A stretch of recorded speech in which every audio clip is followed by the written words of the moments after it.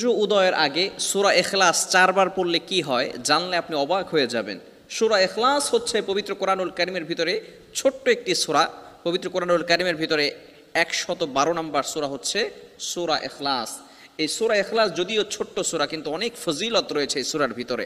সূর্য উদয়ের আগে অনেক ফজিলত রয়েছে। হজরত আলী রাদি আল্লাহ তালা আনহু আমাদেরকে এটা জানিয়ে দিয়েছেন।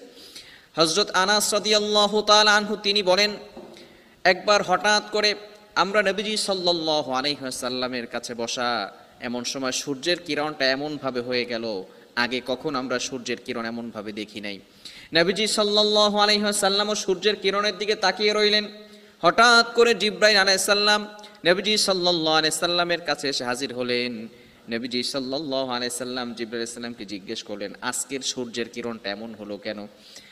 জিব্রাইল আলাইহিস সাল্লাম বললেন, ইয়া রাসূলুল্লাহ, ইয়া হাবিবাল্লাহ। আপনার একজন সাহাবি দুনিয়া থেকে বিদায় নিয়েছেন, ওই সাহাবীর জন্য আসমান থেকে ফেরেশতারা নাজিল হয়েছে। সুবহানাল্লাহ। নবীজি বললেন, এক সাহাবি দুনিয়া থেকে বিদায় নিয়েছে, আর তার জন্য ফেরেশতারা নাজিল হয়েছে। কি কারণে এটা হলো? জিবুল সাল্লাম বললেন ইয়া রসুল আল্লাহ ইয়া হাবিব আল্লাহ আপনার সেই সাহাবিটা সুরা এখলাস পড়তে খুব ভালোবাসতেন, খুব মহব্বত করতেন, যার কারণে তার মৃত্যুর সময় আসমান থেকে ফেরেস্তারা জানা যায় শরিক হতে চলে এসেছে বলেন সুবহান আল্লাহ এজন্য সুরা এখলাসের ফজিলত অনেক বেশি হাদিসের ভিতরে এসেছে। যদি কোনো ব্যক্তি সুরা এখলাস একবার পাঠ করে, আল্লাহ পাক রব্বুল আলমিন পবিত্র কোরআনুল করিমের দশ পাড়া পড়লে যে সব হয়, সেই সব তার আমল নামায় দিয়ে দিবেন। সুতরাং তিনবার সুরা এখলাস পাঠ করলে পবিত্র কোরআনুল করিমের তিরিশ পাড়া পড়লে যে সব হবে, সেই সব আল্লাহ তালা তার আমল নামায় দিয়ে দিবেন। এই জন্য সুরা এখলাস আমরা অনেকেই জানি। অনেকেই আমরা সুরা এখলাস পারি। কুলহু আল্লাহ আহাদ, আল্লাহ হুসমাদ লাম ইয়ালিদ ওয়ালাম ইউলাদ ওয়ালাম ইয়াকুল্লাহু কুফুয়ান আহাদ। এই ছোট্ট সুরাটা আমরা সকলেই জানি, অনেকেই আমরা ছোট্টবেলা থেকে ইমাম সাহেব পড়েছেন, আমরা সেখান থেকে শুনে শুনে মুখস্থ করে ফেলেছি ছোট্ট সুরাটা, কিন্তু আমরা এটা সঠিকভাবে আমল করতে জানি না। নবীজি সাল্লাল্লাহু আলাইহি ওয়াসাল্লাম জানিয়ে দিয়েছেন, এই সুরার অনেক ফজিলত রয়েছে। এই সুরার এতটা ফজিলত কেন, কেননা এই সুরার ভিতরে আল্লাহ তালার পরিচয় রয়েছেন। যখন কুরাইশা নবীজিকে বললেন, হে মোহাম্মদ তুমি তো তোমার আল্লাহর দাওয়াত দাও, সে আল্লাহর পরিচয় কি? আল্লাহ পাক রব্বুল আলমিন পরিচয় দেওয়ার জন্য সুরা এখলাস নাজিল করলেন। কুল হু আল্লাহু আহাদ। নবী, হে, আপনি বলে দেন হু আল্লাহু আহাদ।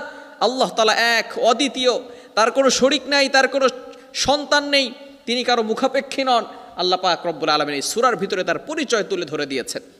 এজন্য সুরা এখলাসের অনেক ফজিলত রয়েছে।